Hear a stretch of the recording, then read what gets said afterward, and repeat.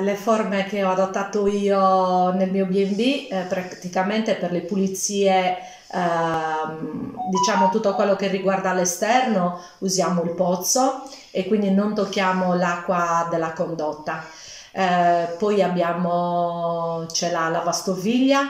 ehm, dove uso quotidianamente proprio per non lasciare uh, aperto molto il rubinetto e quindi esserci uno spreco um, di acqua uh, superiore magari a quello che, che invece serve.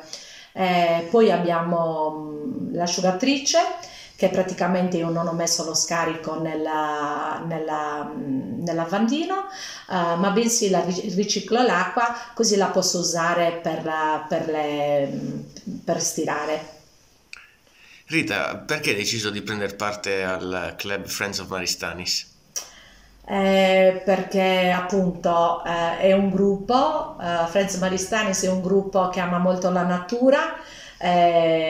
cerca di non appunto di fare degli sprechi eh, e quindi mh, mm, la pensano come me su molte cose